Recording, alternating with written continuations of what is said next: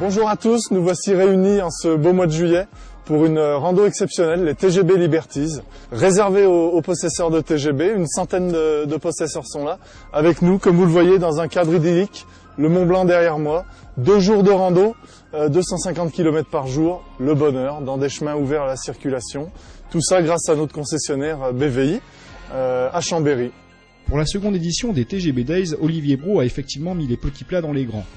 Après quelques démarches administratives dans la bonne humeur, les quadeurs réunis dans la petite station de Valandry ont pu profiter de parcours divers et variés, mais surtout de panoramas exceptionnels, à l'image de certains cols habituellement réservés aux cyclistes et aux skieurs. Qui a dit que le quad et les engins off-road n'étaient pas les bienvenus dans les paysages français? Certainement pas le maire de Bourg-Saint-Maurice, les Arcs. C'était vraiment très très sympa. Auxquels je suis habitué évidemment, mais je crois que pour euh, tous ces et ceux qui, étaient dans, notre équipe, je pense qu'ils ont pu apprécier euh, euh, les, panoramas, les petites haltes, saucissons, Beaufort, etc. Je pense que à partir du moment où il y a des groupes qui viennent dans la région, c'est positif. Alors qu'ils viennent faire du VTT, qu'ils viennent faire du quad ou de la randonnée ou du ski, euh, pour moi, euh, c'est pareil. J'estime que la montagne appartient à tout le monde à partir du moment où on la respecte. Qu'ils soient sportifs ou plus tempérés, les pilotes présents sur place s'en sont donnés à cœur joie.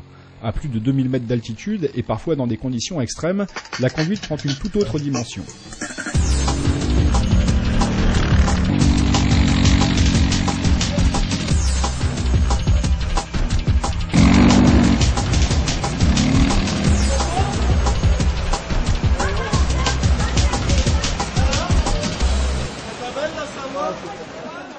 Mais qu'importe, malgré les petits pépins, l'important est toujours là. Le plaisir de découvrir des paysages hors normes, de tester différentes machines de la gamme et surtout de partager des moments inoubliables entre passionnés. Au final, ces deux jours de fête, placés sous le signe de la convivialité, auront rencontré un franc succès, comme nous le confirme l'un des participants strasbourgeois. Écoute, super, on a vraiment eu de la chance avec euh, le temps et j'ai trouvé que l'ambiance et l'organisation euh, étaient, euh, étaient la hauteur de ce qu'on m'avait raconté, puisque c'est la première fois, on vient de Strasbourg, nous, on est venu à neuf, hein, j'ai mis le paquet, hein, donc euh, je suis très content du déplacement. D'accord, donc tu, le referas l'année prochaine? Ah, on sera là, t'inquiète pas. La troisième édition des TGB Days aura lieu l'an prochain à la même période, avec quelques surprises à découvrir. Le très populaire et très perspicace Olivier Bro nous en donne d'ailleurs un avant-goût. Alors l'année prochaine, l'année prochaine, on va changer de vallée.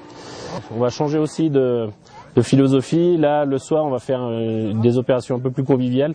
On fera euh, tout en bivouac, donc euh, on sera tous ensemble et non pas en hôtel ou en gîte et tout ça. Donc les gens puissent tous être ensemble le soir et que ça soit bien cool.